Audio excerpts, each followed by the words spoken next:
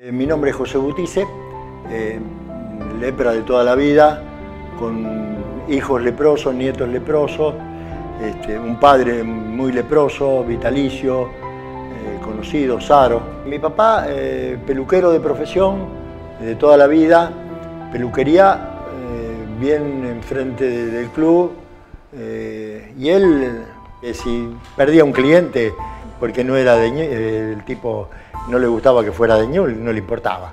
Era de esas personas que vos estabas en la cancha y no podías no saber y no conocerlo a él, quién era.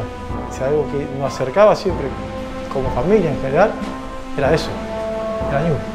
Mi abuelo vivía enfrente del Parque Independencia y ese trayecto por ahí hasta la cancha es una de las cosas que quedarán siempre marcadas, ¿no? Eh, familiar, familiarmente, Terrible.